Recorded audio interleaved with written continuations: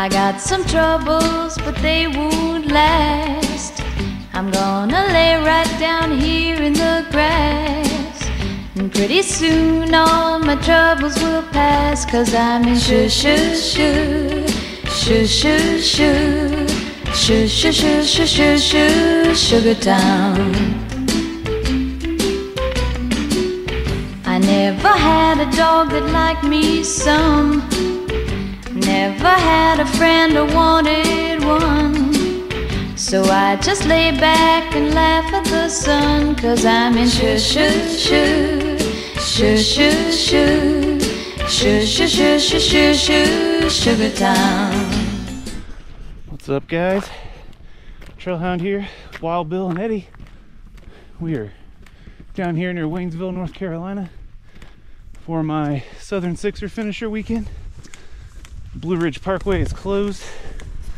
So we are about to bushwhack up to the top of Plott Balsam. Go across the water Waterrock Knob traverse, go to Yellowface and come back down. So we've got a pretty steep climb ahead of us, so wish us luck.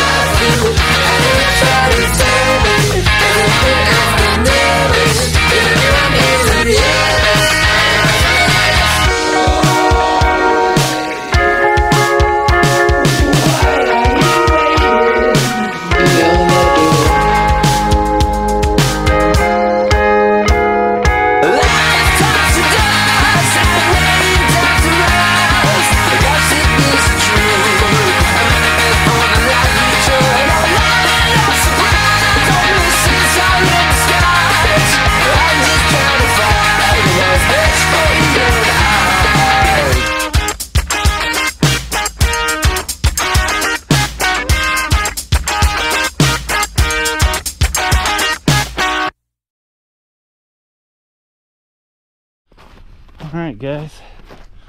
We are on the Mountain to Sea Trail. I've been on it for a little while now. We decided to take this down to Soco Gap. My buddy Dave, thank you, Dave, is going to give us a ride back to the car. Uh, going over that uh, ridge is pretty slow going, and the bushwhack up took a tremendously long time. And we just didn't feel like hiking several hours in the dark. We'd rather go get uh, seafood, so Dave is waiting down here for us. We're gonna finish this last mile some and, uh, and go eat, so I'll see you guys down there.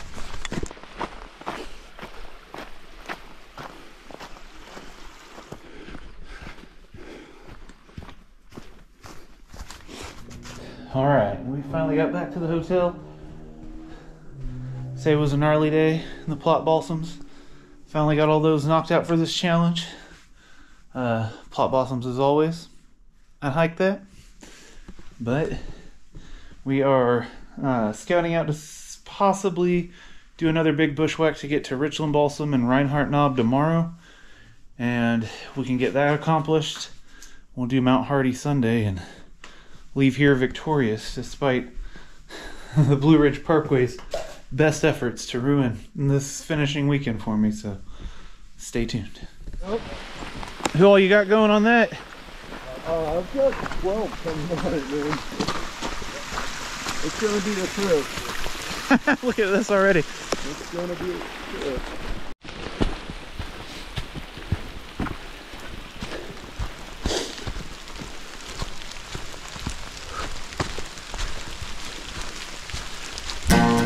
How high's the water, mama? Two feet high and rising. How high's the water, papa? She said it's two feet high and rising. Well, we can make it to the road in a homemade boat, cause that's the only thing we got left that'll float. It's already over all the wheat and oats, two feet high and rising. How high's the water, mama? Three feet high and rising. How high's the water, Papa? She said it's three feet high and rising. Well, the hives are gone, I lost my bees. Chickens are sleeping in the willow trees.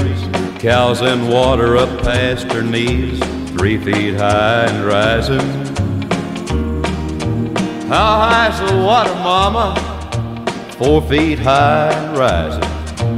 How high's the water, Papa? She said it's four feet high and rising. Hey, come look through the window pane. The bus is coming, gonna take us to the train. Looks like we'll be blessed with a little more rain. Four feet high and rising.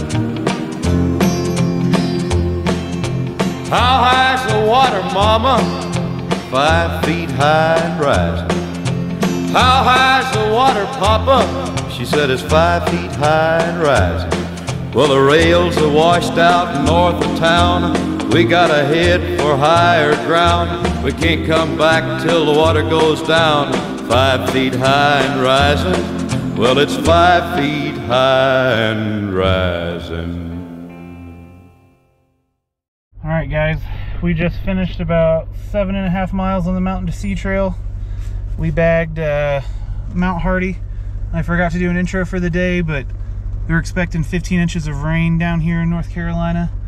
So we couldn't in good conscience bushwhack the first hike today, especially parking on sketchy mountain roads that could, were prone to washing out. So it's unfortunate I couldn't finish the weekend, but that just means I'll get to come down to North Carolina for another weekend to finally finish this challenge. But we're gonna go grab uh, some dry clothes and some frog level. So catch you on the trails next time, guys.